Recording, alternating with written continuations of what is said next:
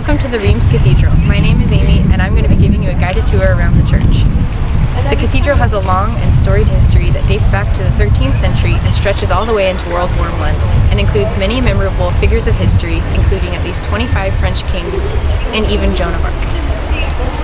The site that the cathedral stands on, however, dates back long before the church we see today was constructed. The history of this site goes back to the 5th century when St. Nicasius founded a church where the cathedral now stands today. But I'll talk more about that in a minute. Through the following centuries, the original building was altered by several of the archbishops of Reims. On May 6, 1210, the original cathedral was destroyed by a fire on the feast day of St. John. A year later, in 1211, construction began on a new structure. Its completion took over hundred years and was again greatly damaged by a fire in 1481. Much like the recent fire at Notre Dame Cathedral in Paris, the structure's attic caught fire, causing the lead of the roof to melt and the destruction of the framework, central bell tower, and upper galleries at the base of the roof. The French kings Charles VIII and Louis XII funded the cathedral's reconstruction. Over the next few centuries, features like the addition of the French kings on its facade were added. The structure we see today was restored after the cathedral was yet again badly damaged during the German bombings of World War I. Each of the two towers you see stand at 266 feet tall, although they were originally designed to stand at 390 feet tall.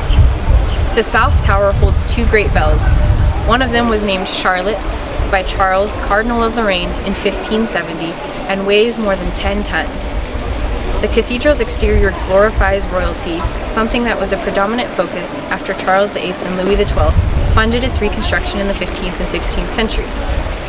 In the center of the front facade, above the rose window, is the Gallery of Kings, which is composed of 56 statues, each standing at 15 feet tall and in total weigh 4 tons. Clovis I is located in the center, mid-baptism, and he is flanked by the statues of all of his successors. Outside one of the main doors on the right-hand side of the cathedral also stands the icon of the cathedral, which is the smiling angel statue.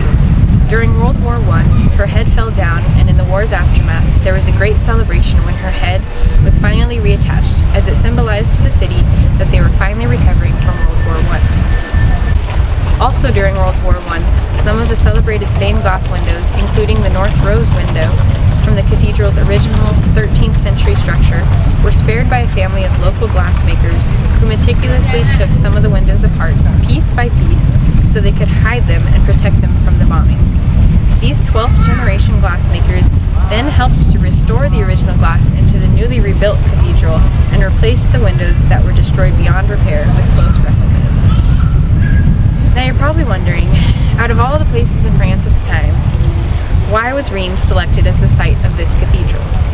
It all traces back to the belief by the French kings that their rule was ordained by God.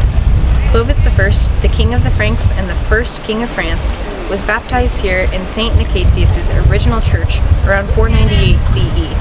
Afterwards, the site was declared a sacred ground for royals and became the traditional location for the coronations of the kings of France. We'll talk more about this as we head inside.